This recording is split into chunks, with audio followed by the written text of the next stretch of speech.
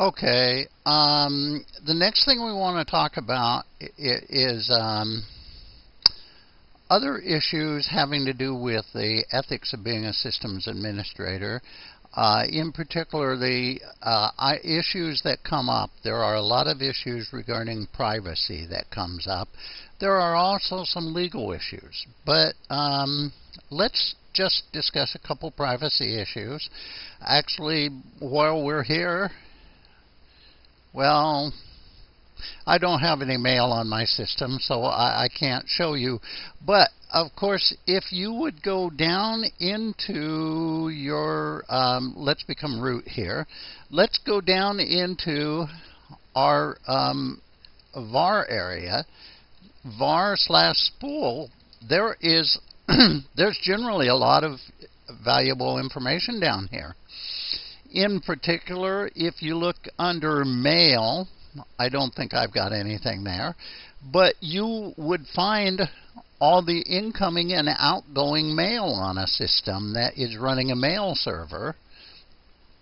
Um, you might find outgoing. You would probably find a lot of incoming. And of course, in people's personal directories, you'll find incoming. You'll find it someplace under uh, slash var slash spool, you'll find all the print files.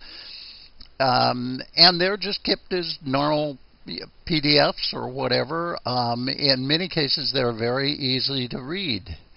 And um, so the question is, you know, users have their files on these systems. When are you allowed to read them? When do you regard that as private information?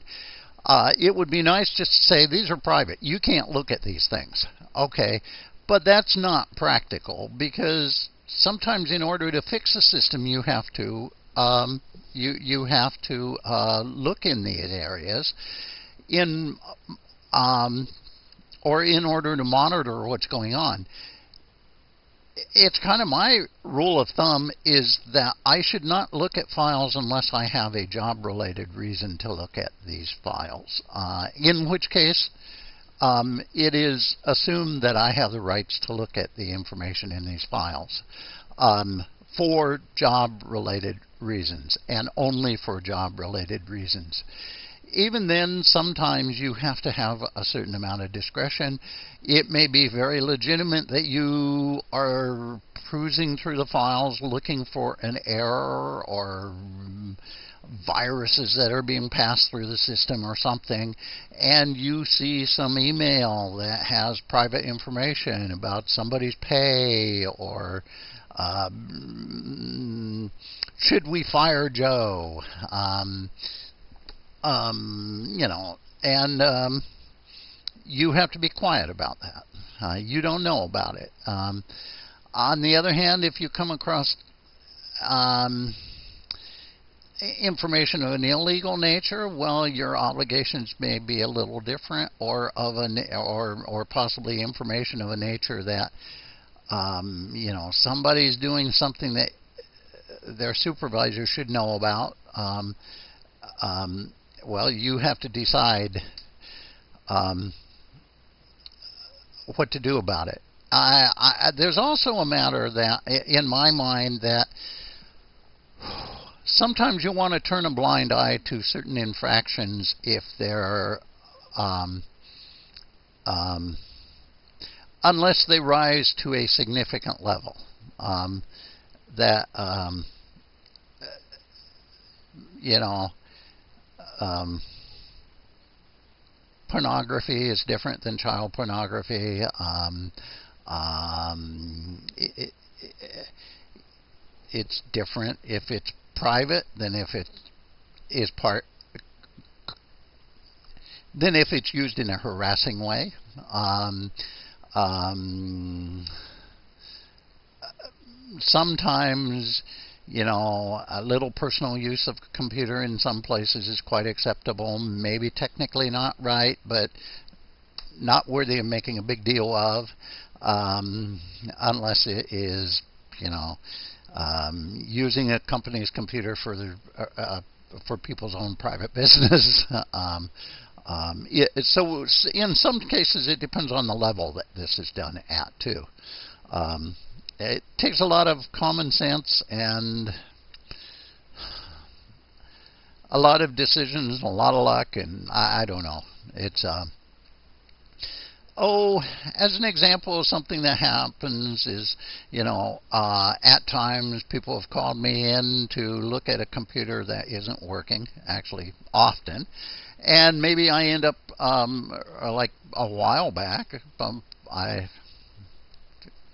a while back, I can recall being called into a system where the computers weren't working. Something had happened, um, and they couldn't retrieve their email. And they had years and years of email there, and uh, they just wanted it recovered. It had a lot of important billing information. It had clients' uh, uh, contact information. It, it was very crucial information. Um, this was a very small business. You know, as I cruised down through the business, there were probably files that I would consider personal in nature too. Um, that uh, uh, you know, there was a, um, the company was ran by a single man that probably dates, and and and um, and so there were uh, files of a rather personal nature, and um, you know, if this, uh, you're blind to those sort of things. Didn't happen. Don't know anything about it. Of course, this was entirely legal and um, actually proper, just personal. Um, so um, there's no question that that you know is not that it's not a big deal. It's not part of the job. But you do things like that do happen. The other thing is some of the rules eh, about computers really depend on the culture of the the particular place you're working, the culture you're working in, the nation you're living in.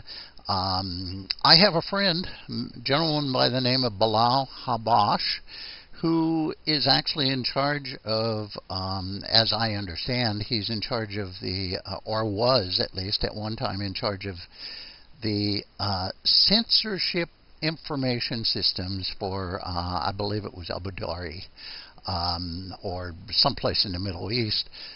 And, you know, he believes in censorship and believes many things that most of us Americans do not believe in. And, you know, bad books and censored material might include things like um, the Bible. Um, and you know, I guess so be it. It's I'm saying you know, um, ethical standards do vary a little bit depending on your culture, uh, country and culture, and things of that type too. Uh, and um, um, one would expect that probably a church's computers are ran a little bit differently than a um, um, drug deal. Well, I don't know. Then um, uh, um, distillers' computers. I don't know. Um, um, in terms of what they allow to happen on them and what type of information is kept on them, and what the privacy levels are and things of that type. Um, Okay. Now, the other thing is there are legal issues involving systems administration and running computers and stuff. If you work for a government, you really, really have to be aware of um, things like freedom of ac- uh, freedom of information laws. That you you need to be aware that you um, any public meeting becomes a public record. The minutes from those have to be kept forever. Uh, in many places, the um, every bit of email that is either received or sent is a public record that must be kept for certain periods of time. Sometimes forever is the period of time that it, that is required. They also by all rights, have to be kept in a relatively readable format, and that actually brings up many, many technical issues that I won't go into. Um, but um, but there are public records laws. There are um, many laws on you know being responsible for keeping your accounting data and your accounting records in good shape so they could be looked at by uh, the SEC if you're a corporation um, or the IRS or whoever. Um, there's recently Oregon passed a law that if you are a computer technician, which wasn't defined in the law, as I understand, and um, and you um, were examining someone's computer, and you should have had reason to believe that there was child pornography on the computer. You are obligated to uh, report that to the local authorities under penalty of, I think it's a year in prison and I don't know what all. Um, but you know, how do you interpret such a law? Um, I, I presume that doesn't mean you're supposed to examine people's personal and private files for uh, uh, child pornography. Uh, that it merely means, well, I don't know what it means, but it's the law. Um, and that does bring up an issue. Sometimes you don't know what things mean, and it is the law, and that's where sometimes um, your employer does need to be willing to hire rather expensive corporate lawyers from time to time because um, certainly I've had to hire lawyers to um, navigate me through some things at times, never having to do with systems administration, but um, but having to do with other issues. And even in lights of systems administration, I have been involved or um, I have been involved in some legal affairs. Um, in particular, at one time, I was called in to offer testimony because one party was suing another party, um, and a lot of it had to do with the status of the computers involved because one party couldn't um, satisfy the contract by the deadline. Uh, there was a contract. One party couldn't satisfy the contract by the deadline date. The party that issued the contract was say, was blaming the party that couldn't um, fulfill the contract, saying that they owed them a lot of money and you know they were bad people. The party that had was given the contract was basically said, well, they never provided us the data and everything we needed in order to do our end of the contract, so we're it, it, it's their fault, not ours. And I was kind of a neutral party that was called in to um, give testimony on the status of the computer systems and things of that type, which actually was not was was not fun to do. I really, really didn't like being in that when there's lawyers on that side of the room, there's lawyers on that side of the room, and um, everybody's got their lawyer except you. You're in the middle with no lawyer, and um, um, but hey, that was many years ago, and it, it was okay. Um, nerve wracking, but worked out just fine. Um, anyway, issues like that do come up.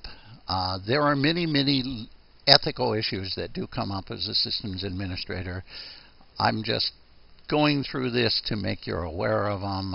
I certainly don't have the solutions to all of them, but um, but you should be aware that if you want to do this as an occupation, you will have to deal with ethical issues on a relatively routine basis, although many of them are very easy to handle.